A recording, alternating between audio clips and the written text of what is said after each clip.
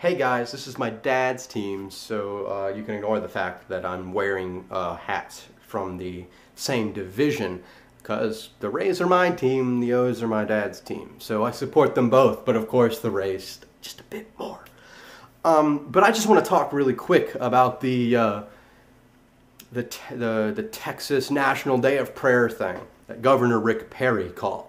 And while I tend to agree with most people's criticisms that, you know, prayer on this scale or prayer in this way is is just useless. I think people would do a much better job externalizing and vocalizing their problems by just merely vocalizing and externalizing their problems.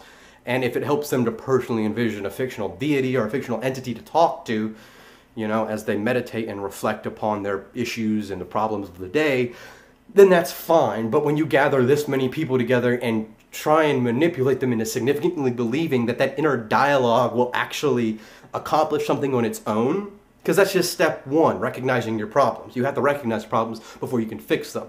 So we do have to do some exercises to make ourselves aware of problems that we weren't otherwise aware of or to accept these problems as actual problems because as you know a lot of people like to live in their own little bubble and so we have to burst that bubble, and prayer is one way of doing that, though I think it's an ineffective and inefficient way of doing it on a large scale.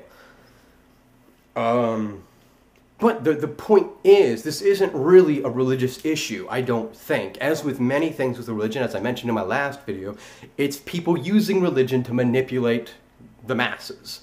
Rick Perry is using this idea of the National Day of Prayer to make a huge appeal towards conservative evangelical Christians. That's just what it is. They're a huge and massive motivated voting bloc.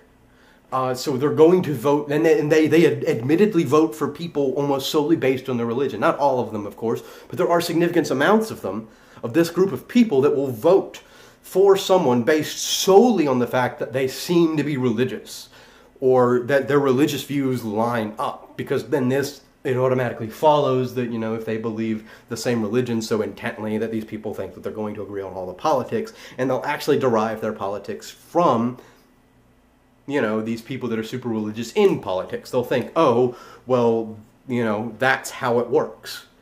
And so it, it fuels itself and it gets him votes. That's what it's all about. Rick perry's trying to become president of this country. He's trying to win a, the republican primary which if you've been following the news at all hasn't been going so well. There's not a lot of front runners, which you know that tends to be some way it goes. You know, a lot of these people get knocked out super early, and usually it tends to be unknown or unnamed. You know, like people who we don't know fuck all about that rise through towards the end and gain a lot of popularity because the front runners early on get attacked so viciously that they're almost sacrificial. You can't gain your popularity beforehand and then run for president. It doesn't usually work that way uh, usually you just kind of rise up from obscurity. And if, and if you look at the presidential primaries and how they tend to happen, this seems to be the case a significant amount of times. So what's what these candidates want to do is try and secure, you know, um, certain segments of the population that will vote for them. You know, no matter what. And if you do this huge National Day of Prayer thing, you're definitely making an appeal to the conservative evangelical Christians who will participate in the day of prayer and the other Christians that will participate in the day of prayer.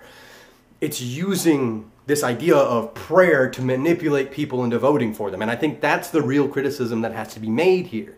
We have to criticize the people who are actually doing the praying for wasting their fucking time doing something inefficient and ineffective and just plain stupid by expecting some fictional, imagined, hallucinated, whatever it happens to be, entity to fix all their problems for them you know that that's obviously stupid but and we should criticize them for it. But we also need to criticize uh, rick perry for doing what he's actually doing.